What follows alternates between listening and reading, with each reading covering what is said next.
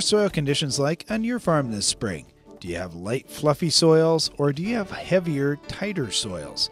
If you have both of those conditions, like we did on our farm this spring, it can be a little bit of a challenge. We'll talk about how to deal with that in today's Iron Talk. I am positive that we made the right choice with a number of modifications we've made to our planter over the last couple of years. One big one that we've been really fired up about the last two seasons now has been using Delta Force to control the downforce on each row unit. Now, we began the season with a pretty dry winter and mild winter, and the soil was pretty fluffy, especially on the hilltops and side hills. In our valleys and in our heaviest soils, we still had moisture and we had more clay like conditions. As the planter rolled across each variation in the field, we actually used the lift feature more than anything else as the delta force adjusted to the lighter and softer conditions in many areas. The result is noticeable in every field that we've got. Our emergence is much more even, and our planting depth is more consistent than we've seen in the past. And hopefully, this fall, we'll be talking about the yield differences and consistency that we saw across the field as a result. As conditions varied this spring, we saw a big improvement with individual row controlled downforce management.